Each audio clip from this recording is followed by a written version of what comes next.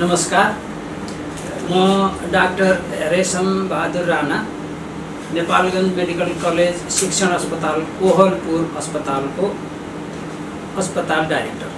दुई हजार एक्कासी साल श्रावण एक गते हामीले आजकै दिनबाट पुनः स्वास्थ्य बिमा सुरु गर्ने मौका पाएका छौँ स्वीकृति लिइसकेका छौँ।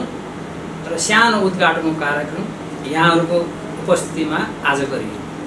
यो सेवा अधिराज्यभरका नेपालीहरूको बिमा गरिएका जनताहरूले पाउने सुविधा हो। यसमा पैँतिस सय रुपियाँको रजिस्ट्रेसनबाट पाँचजनाको परिवारले पाँचजनाको परिवारसम्मले एक लाख रुपियाँसम्मको यो टोटलमा हो। पाँचजनाले एक लाखसम्मको बिमा सुविधा पाउने गर्दछन्। यसको प्रक्रिया अलिकता बुझ्न जरुरी लाग्यो मलाई। म आफै यो सिनियर पोस्टमा भए पनि म आफै यसको चाहिँ नि ओरिएन्टेसनमा काठमाडौँ गएर म भाग लिएर आएँ। र यसको प्रक्रिया के रहेछ भनेपछि कुनै पनि प्राइभेट कलेज अथवा मेडिकल कलेजले प्रथम स्वास्थ्य सेवा दिन मिल्दैन नमिल्ने रहेछ।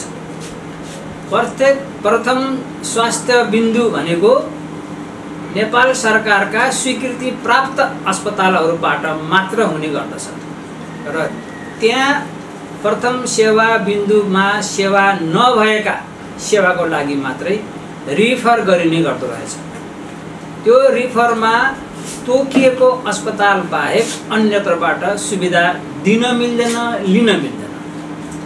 यो कुरा बुझ्नु बहुत जरुरी रहेछ। पहिला चाहिँ नि अब एउटा अस्पतालको नाममा रिफर हुने अर्को अस्पतालले सेवा दिने गर्दै गर्दा बिमितले सेवा पाए तापनि बिमकले बिमा सेवा दिने संस्थाले पैसा नदिँदो रहेछ।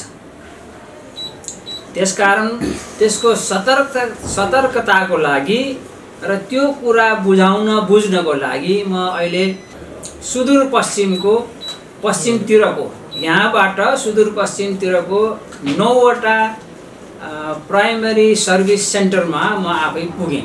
र यो कुरा चाहिँ नि हामी बेली विस्तारमा कुरा गऱ्यौँ। र उहाँहरूले बुझ्नुभयो र उहाँहरूले चाहिँ नि हाम्रै नाममा हाम्रो नाम भनेको अहिले यहाँ हामीले सम्झौता गरेको कागजमा लेखेको नाम L B E A lord Buddha educational academy Nepalgunj medical college Kohalpur लेखिनुपर्छ।